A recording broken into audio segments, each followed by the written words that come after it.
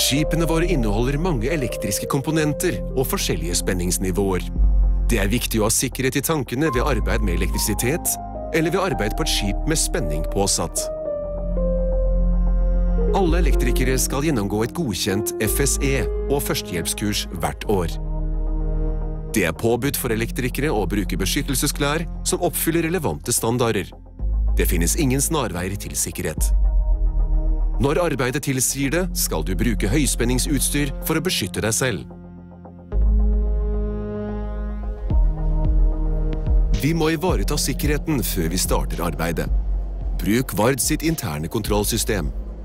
Alle operasjoner skal dokumenteres i henhold til internkontrollsystemets rutiner, og det er viktig å rapportere avvik. Svart og gult merkebånd brukes til å sperre av et område med påsatt spenning. Det er viktig å respektere slike sperringer. Kun autorisert personell kan oppholde seg innenfor sperringene. Den relevante kursen må være avslått før det settes i gang arbeid på anlegget. Kontrollpanelet skal være sikret på riktig måte med lås og sikring, slik at ingen kan tukle med det ved et uhell. Planlegg godt når du skal jobbe på et strømpåsatt system, og sjekk hvilke kurser som må kobles ut. Bruk måleinstrument. Når arbeidet er fullført, skal sperringene fjernes. Husk at det alltid er andre som venter på å få gjort sin jobb etterpå. Fjern aldri sperringer eller låser som er satt opp av andre.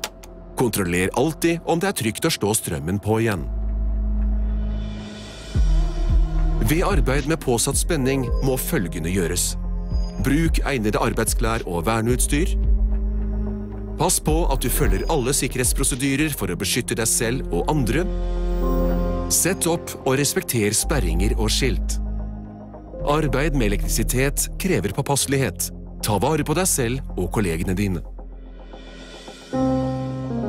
Vard Built on Trust.